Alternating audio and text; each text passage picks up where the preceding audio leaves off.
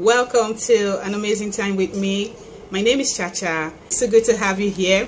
You know this movie, I know I've made this video and I mistakenly deleted the video like I think in 2021, early 2021. I saved you from shame and disgrace. I don't care. I saved you from the jaws of poverty. She's twisting the story. If it wasn't for me, you wouldn't even be here to pay for the case. So after deleting the video, I just told myself, I said, you know what? I won't. I, I wasn't in a hurry to, you know, go back to you know shoot this video again was just annoying but i don't know somehow i've not really been in tune with nigerian movies so i'm like okay you know what let me just redo this movie again and like you know what will it take from me so today guys we'll be reviewing the movie mama drama is it Okay, let me explain. What is normal about another man sleeping with you? Five million. Why is she doing this? Why? Why now? I need to know every single detail as your lawyer. The 2020 Nigerian movie directed by Seyi Babatope. In most of his movies, Seyi Babatope's movies, most of them anyway, are okay. They are passable. Like, you know, you can devote some minutes to watching his videos. Like when he really wants to go all out, his movies are always good to see. This movie has popular actors and actresses like Kunle Remi, Osas Ighodaro, Kehinde Bankole, Femi Adebayo, Shafi Bello, Aduni Ade, Chinyere Wilfred, Olive Emodi, Rikia Ata, Opeyemi Ayola, okay now this movie as at the time i saw this movie it really i connected to the movie in a way in a, in a deeper level. I think it was the way osas igodaro projected the pain of a married lady who hasn't had a child for her husband.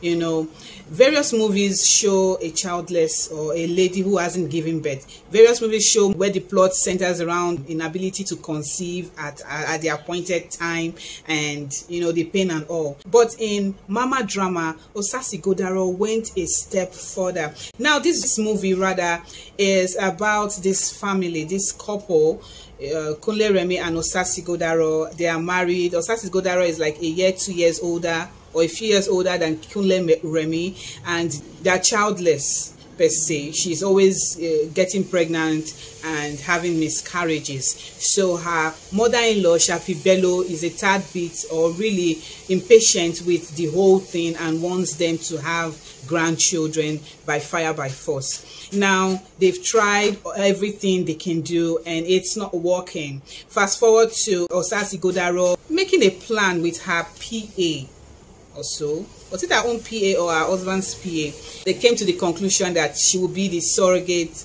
mother of their child. So, you know, the usual process of surrogacy, they carried out the test. They even they had a lawyer, a job, a contract for them. And um, at the end of the day, she carried the baby to full term and had the child. So they settled this, they settled her PA and everything was okay. They thanked her. Was a baby boy.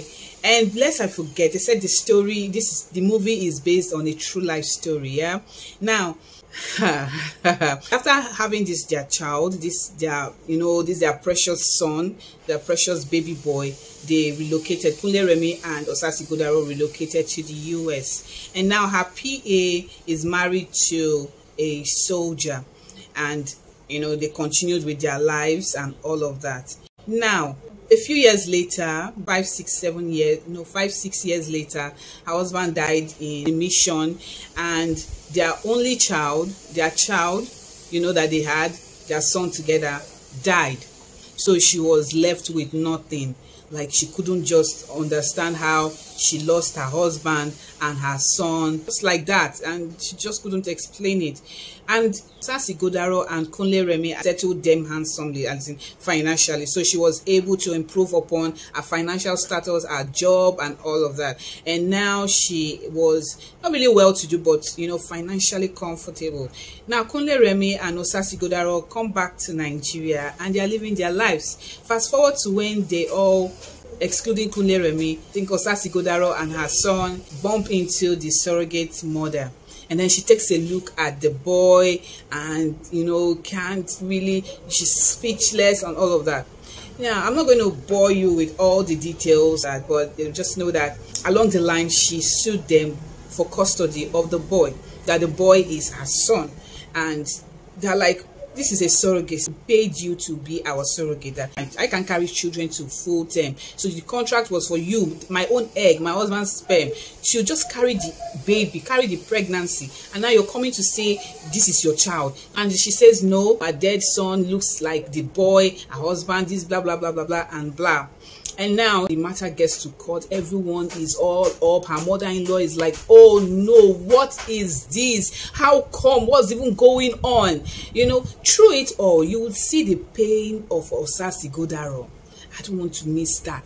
Osasi Godaro was the epitome of a mother who who was in pain. Like the pain of you know the years of suffering of losing all the children through miscarriages and then finally getting that particular one. If it's Igbo they'll say ofunkuru you know ofunkuru like that one that manage manage one you know. And then then coming to tell her that the child will be given to someone else. So they conducted a DNA test and they found out that the child was not Kunle Remi and Osasi Godaro's child but but you know the PA's child, the surrogate mother, and everyone was like, what? What happened? Because in the contract, she wasn't supposed to sleep with her husband. She wasn't supposed to have sex, uh, have intercourse before YouTube just demonetize this video have intercourse with her husband and you know so many other things there.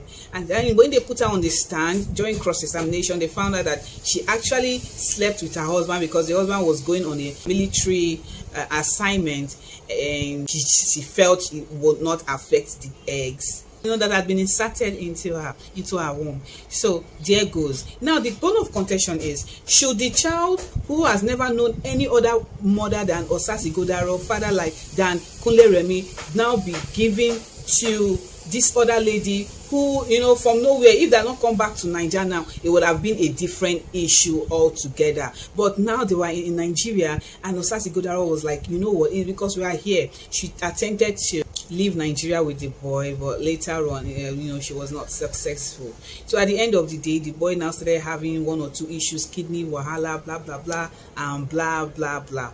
So at the end of the day they now decided to have is it not joint custody but she the, so-called biological mother was allowed to come visit the boy whenever she wanted to and that was where the movie ended it was a good movie if you're just watching Osasi Godaro, Kunle Remi, you know, and the plot, it was a good movie. It was a wonderful watch. Adune Ade, she did well. Um, Shafi Bello was excellent. But what where I started getting upset was where Kunle Remi's auntie has twins. So they say, where are the twins? How are the twins? And then during this whole problem and all of that, she now tells her sister that actually that she did not give birth to the twins, that it was through surrogacy as well. And this was that these were the problems and all of that, but they didn't want to share it. What are the odds? You know, I don't know why Nigerian script writers, directors always put someone through that kind of thing.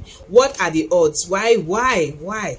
the the movie would have just been straightforward why would you just go and put what would I call it? A comma in the movie. Why? Why would you just stress someone and you know otherwise undo the good work that you have started doing which was what they did in the movie. But other than that, it was an excellent watch. The cinematography was excellent. It was good. I think what even started, you know, working adversely on my psyche was that it was a true life story. So I'm like, okay, so, you know, apparently when the boy is 18, he will get to choose who he wants to be with, who he wants to call mommy finally, and blah, blah, blah, blah, blah. It was really a complicated plot, but a nice one at that, and they pulled it off really well. So, which brings me to the end end of this drama review.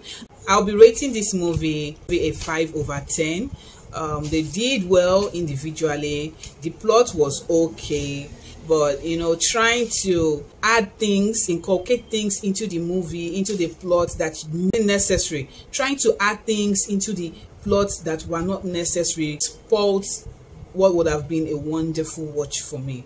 So that's why i'm i'm rating the movie this way. If you haven't subscribed don't forget to hit on the subscribe button. Don't forget to turn off your post notifications to be alerted when new videos come up. Thank you so much for doing this with me. Up there you'll see my korean movie reviews my nigerian movie reviews my chinese movie reviews and then again my movie reviews. This 2022 i promise to be better more frequent. Yeah i do promise that. Just give me a few um just give me a few weeks to get my act together. But thank you so much for doing this with me. I appreciate you. I appreciate you. Thank you so much.